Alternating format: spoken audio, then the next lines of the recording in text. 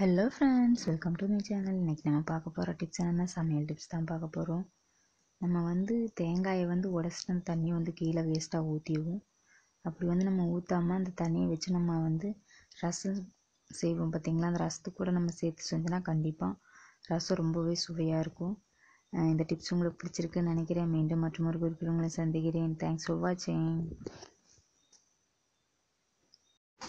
உங்களுக்கு நம்ம சேனலை பிடிச்சிருந்தா லைக் பண்ணுங்கள் ஷேர் பண்ணுங்கள் மறக்காமல் நம்ம சேனலை சப்ஸ்கிரைப் பண்ணிக்கோங்க.